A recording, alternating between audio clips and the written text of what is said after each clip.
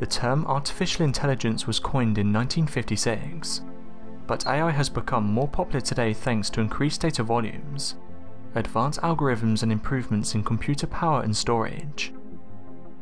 Early artificial intelligence research in the 1950s explored topics like problem solving and symbolic methods. AI makes it possible for machines to learn from experience, adjust to new inputs and perform human-like tasks. Most AI examples that you hear about today, from chess-playing computers to self-driving cars rely heavily on deep learning and natural language processing. Using these technologies, computers can be trained to accomplish certain tasks, by processing large amounts of data and recognizing patterns in the data. AI is now monitoring children in the classroom. Controversial new AI technology is being tested in the Chinese education system. The artificial intelligence being used is a facial recognition software.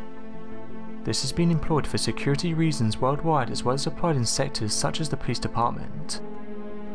This technology has been proven to work, in India, facial recognition has found thousands of missing children to date. In China, they recently started using this technology, advertising it as a behaviour management tool. It can scan the faces of students at 30 second intervals and register one of seven emotional states. These include sad, scared, happy, surprised, angry, neutral and disappointed. The device sits high on the wall at the front of the class and isn't a huge distraction. However, it has still caused worry among students of the school. The purpose of this tool is to alert the teacher when there are students misbehaving. The teacher is able to call the attention of these students back to the task at hand, or even repeat it to be sure the students have understood. The data collected by the device can give the educators an idea where the students are having the most difficulty paying attention. This tool can also be used to monitor the teacher's education style and efficiency. China has a very different approach to education than countries such as the US.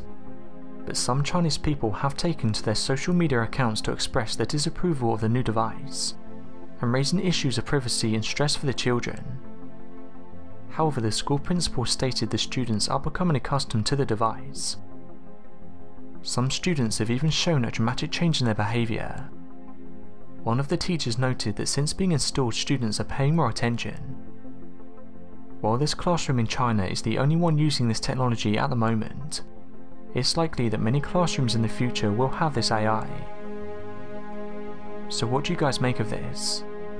Do you think we should have AI in classrooms? Let me know your thoughts in the comments.